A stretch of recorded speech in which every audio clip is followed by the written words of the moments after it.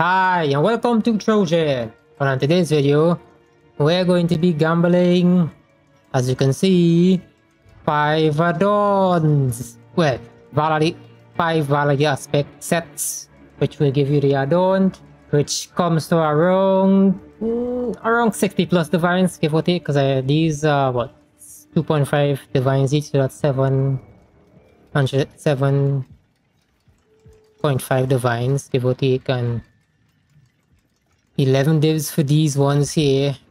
2.5 for these.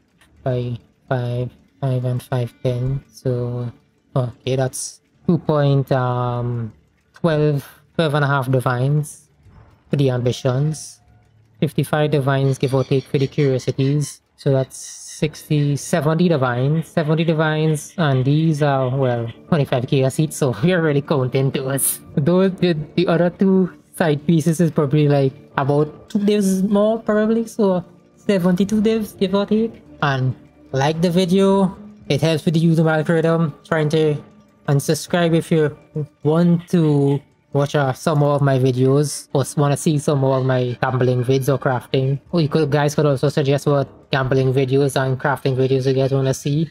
Trying to reach a thousand subscribers before the end of the league hopefully sets. Alright, get on to the video. Number one, number two, number three, number four, and number five. Alright, let's see what we get. 128, a somewhat of a win, that's a loss. Loss, 126, and a 60. Damn, that's a big, big loss. Lost like what, 50 something divines, give or take? There, 126 is 16 divines and a 128 is 18 divines. 18 plus 26, I mean 16, 34. 34 divines. So I lost.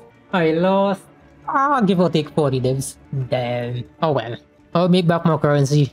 I might do a bigger Adorned gamble if I decide to go farm the Vaal Architect in again. So there, so I got most of, well, the five curiosities I gambled today, I got it from the Delve Boss, which is pretty lucrative if you want to farm him. Him and the Crystal King. This seems to be somewhat pretty good to farm. So that's it for, that was for your entertainment, my misery. Like the video if you like it, subscribe if you want to see more of my videos, and remember, try to be less degenerate than I am.